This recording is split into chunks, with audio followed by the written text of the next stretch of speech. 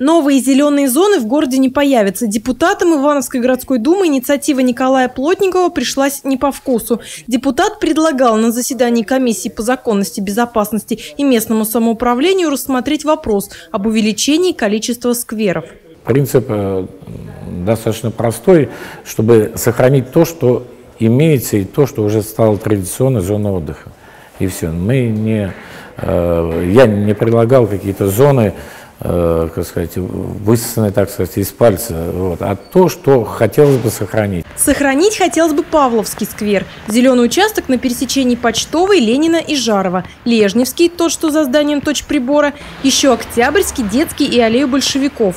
Также внимание властей Плотников хотел привлечь к набережной Уводе на участке до памятника Фрунзе. Всего таких объектов депутат выделил 8. Предложение остальные члены комитета назвали непроработанным. В кадастровую палату плотников не обращался, вопрос на комиссию по топонимике не выносил. Как итог, предложение не приняли. Процедура она закреплена в федеральном законодательстве, а именно в градостроительном кодексе. Необходимо вначале внести соответствующие изменения в генеральный план, провести публичные слушания, потом в правила землепользования и застройки опять проводятся публичные слушания. И, после, и только после этого Ивановская городская дума принимает решение о том, что придать ли данному земельному участку статус рекреационной зоны, там скверы, бульвары и так далее, либо нет. К сожалению, данной процедуры э, проведена не было.